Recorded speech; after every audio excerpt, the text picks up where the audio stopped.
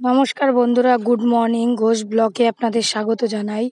চলে এসেছি আর একটা নতুন ভিডিও নিয়ে। আজকে আমার ছেলের জন্মদিন, তার ছোট্ট একটু আয়োজন করেছিলাম।